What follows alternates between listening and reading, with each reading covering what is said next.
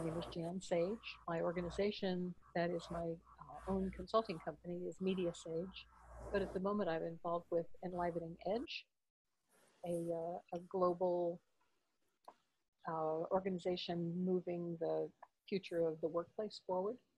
I'm involved with Bright Future Now, which is a marvelous organization looking at how to build um, competencies in change agents who are moving us to the planetary era.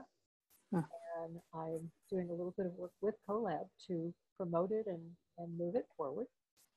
I'm in Boston and I'm so impressed with everything I learned in level one, not only learned but practiced and, and used in uh, my teams and had such positive response from the people on those teams that I want to get all I can, uh, all kind, all the mastery that I can in uh, in CoLab because I I just deeply believe in it. I have some questions that um, I forwarded to Cecile, and a lot of them have to do with how to really make this, how to how to attack some of the um, challenges that I've come up against in in implementing CoLab in particularly volunteer only teams.